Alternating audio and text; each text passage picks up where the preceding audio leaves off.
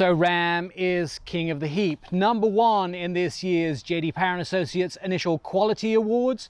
We talked to Mark Chapman from Stellantis, who is Ram's parent company, and they say they are very happy with many of their brands' performance in this year's awards.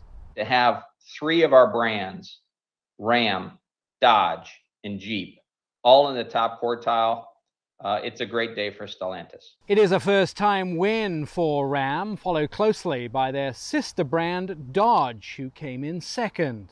Luxury brand and ranked third overall is actually the Japanese automotive brand Lexus. They are consistently at the top for initial quality and also reliability as well.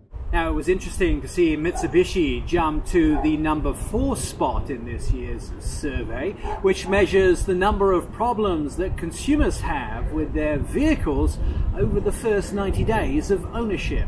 So then who is in last place and dropped the most? It's actually Chrysler. They're sitting at the very bottom. But surprisingly, right above them is German automotive maker Audi. Now the survey shows that Tesla are third from the bottom in this year's survey, but they're not officially part of the survey because JD Power and Associates don't have permission to survey owners needed in certain states. So there's good news and there's bad news. In 2020, general new vehicle improvement is up about 2%, which is good. But if you compare it against the last decade, they're actually down about 3% in improvement. What was the biggest complaint by consumers this year? Smartphones. With an increase in wireless technology, smartphones and wireless technology are making consumers confused and unhappy. That's Mike Caudill, and I'm Nik Miles.